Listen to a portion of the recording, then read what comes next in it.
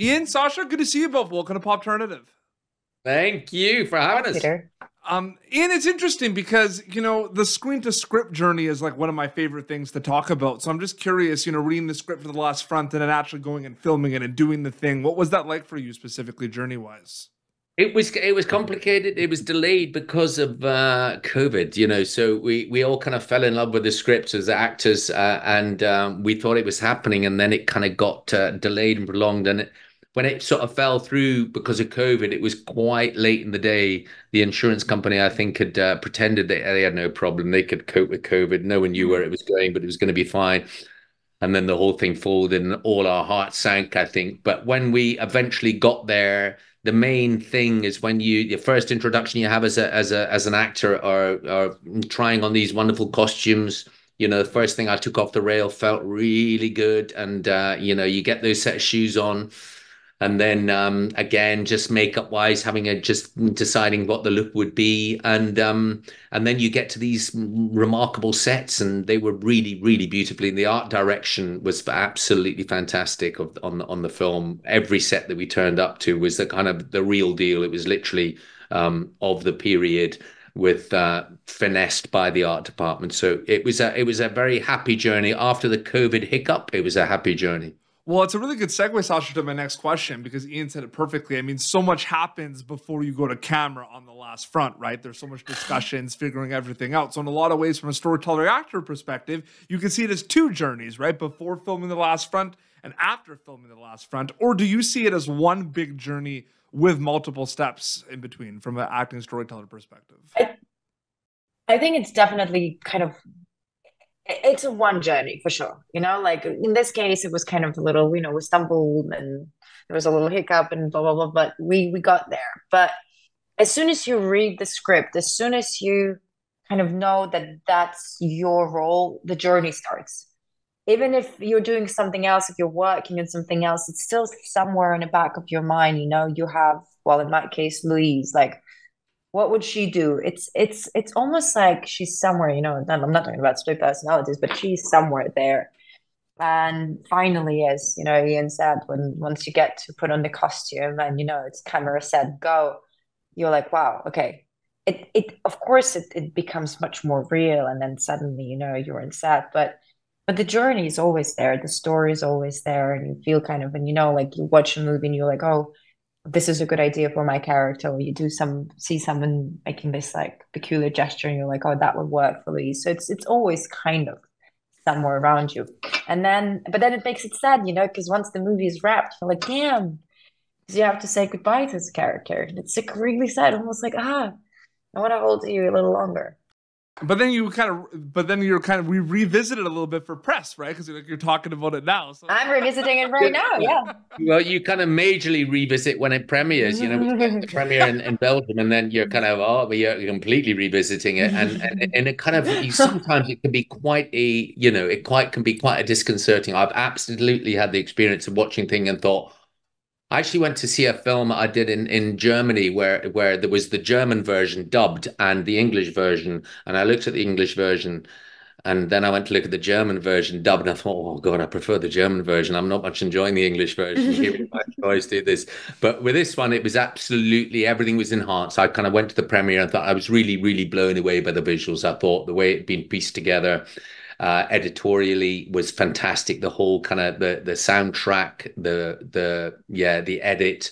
and and the look of the film as a whole was was was really strong. I thought so. It was a good journey. It was a good hit. Well, Iain, it's per- it's perfect segues to my next question. It's almost like you both know like what I'm asking. well, no, it's interesting because you you established, you know, when it kind of sinks in the premiere, and then you know Sasha said it great about you know, you wrap and then it's kind of on to the next. So I'm just wondering because, you know, both of you have an incredible body of work and I just want to hear from both of you about this. We'll start with Iain. I mean, how separate are past projects and journeys com- like versus like new projects. Like do you take things mindset wise character wise from something like game of thrones to something like the last front that are completely separate once you wrap? And then sasha like you with like something like anna. Like i'm just curious like are they completely separate or do you bring kind of experiences to you to something like the last front i'm curious iain Um, you know, the truth is, I, you know, I, I, I say it's slightly jokey, but there is a truth. There's a kind of superficiality to certainly me as an actor, in the sense that, um, in the moment, as I get to know a project, I am completely, uh, uh, I'm completely absorbed in that. I'm a total tart to the thing that I'm doing, and I'm totally involved in it. And the moment it finishes, I forget all about it. I forget all about it and I move it and I do the next thing and I get completely absorbed in that.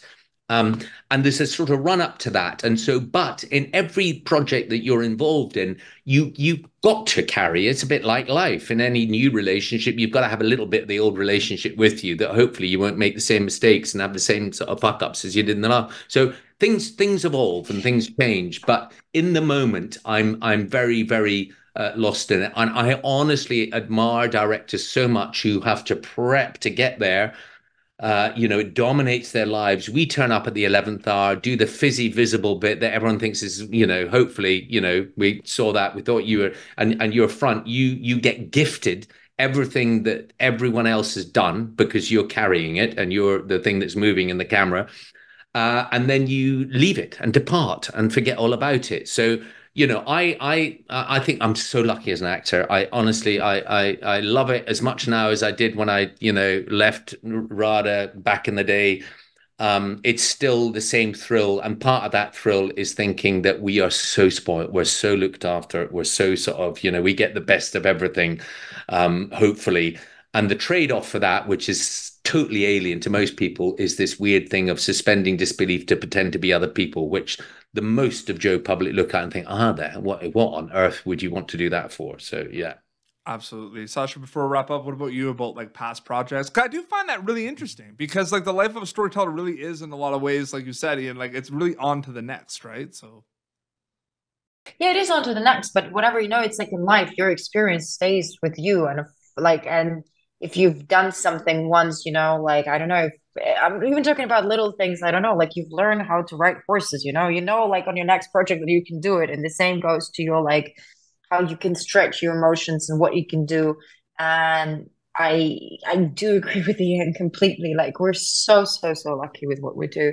Um, and I love love love this job, but it does get hard, you know. And sometimes you go through this emotional horrible de- like it's just you like i remember filming like you know uh the last front and there is a scene when i have to cry and i'm like and i couldn't get there and then you start picturing things and that's something you don't want to bring mm-hmm. you know to your next project but but everything else the experience the beauty the joy everything everything stays Oh, and I feel like it's it's actually really exciting to do like you know if you if you did a comedy you want to kind of go on to do like I don't know drama and then do something else just to because that's what's exciting. That's the nature of this job, and that's what's so thrilling.